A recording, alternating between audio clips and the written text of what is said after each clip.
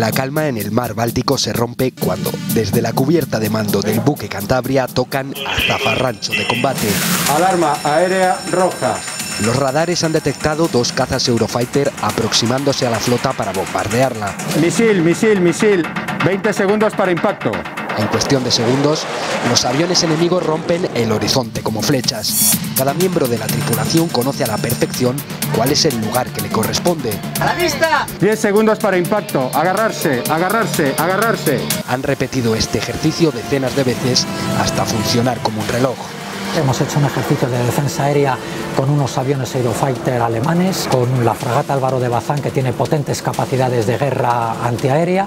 Ellos una vez que detectaban a los aviones dirigiéndose hacia la fuerza, nos han alertado y nosotros hemos adoptado las medidas defensivas que podemos y luego hemos simulado que hemos recibido un impacto de un misil, que hemos tenido un potente incendio en una parte del barco. Los bomberos de a bordo se han desplazado rápidamente para evitar que ese incendio se propagara al resto del barco. Ha sido un ejercicio intenso, demandante, pero muy provechoso para el adiestramiento del barco capitán de fragata Santiago Colsa está al mando del Cantabria, un buque de aprovisionamiento de combate que participa en estas maniobras en el marco de la Agrupación Naval Permanente de la OTAN, liderada por España en el Mar del Norte y el Mar Báltico. Nuestra principal misión es suministrar torpedos, misiles, proyectiles, suministrar comida y agua para las dotaciones. Nosotros somos capaces de llevar tanto combustible como el que cabe en cinco piscinas olímpicas, de tal manera que una fuerza naval pueda mantenerse en la mar durante un periodo de tiempo prolongado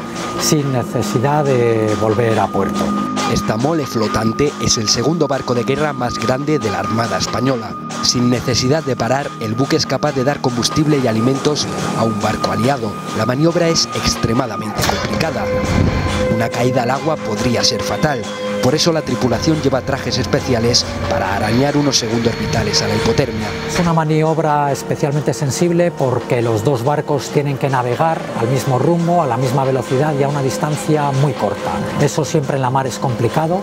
Hoy hemos tenido unas condiciones meteorológicas un poco adversas, teníamos un viento fuerte, pero sí que es verdad que estamos eh, perfectamente adiestrados para llevarlo a cabo con absoluta seguridad.